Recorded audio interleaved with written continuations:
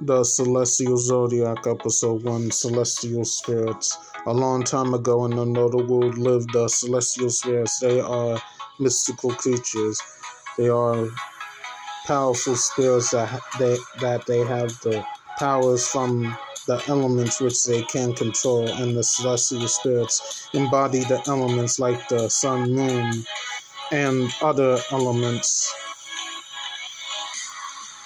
they have some powers of human nature like war, love, creation, courage, time, and others. The celestial spirits look like animals, and some are human or humanoid like. Some may look like creatures from folklore, like dragons, fairies, and mermaids, and other creatures.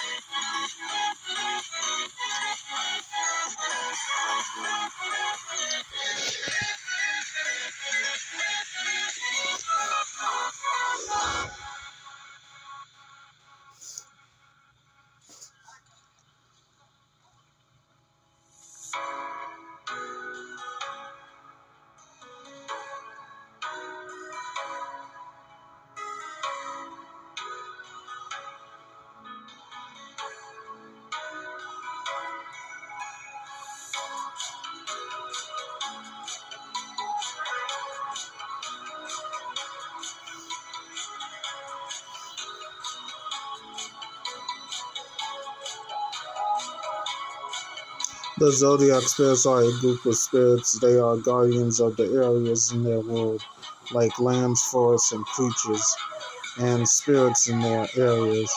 There's at least 12 members. Sometimes they will give you an item to use as a gateway to travel to other worlds and go back to your own. The, so the people, but now I will tell you a different story about us. It will start with a human, a teenage boy in a village. A teenage boy in a village that is attacked by a dark wizard. Their names are Bolin and Baron Striker. Baron Striker, the dark wizard, went to a store in the village, asked the shop owner if he had a spell to open a portal and the shop owner says, Why do you need something like that? The story begins.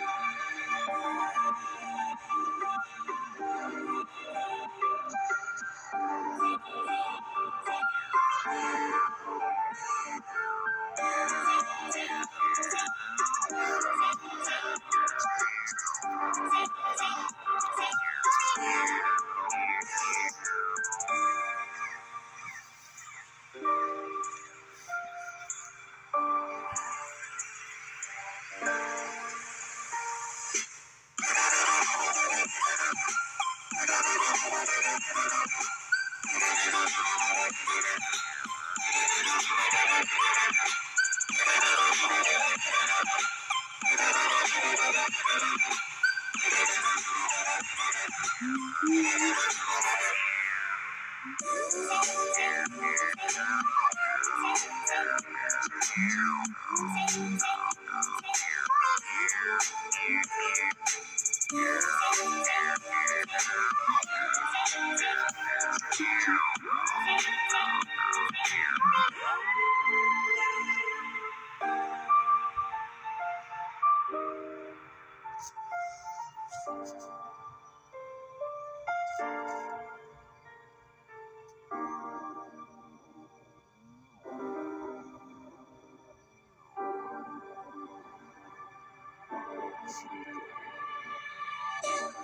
Say, say, say, say, say,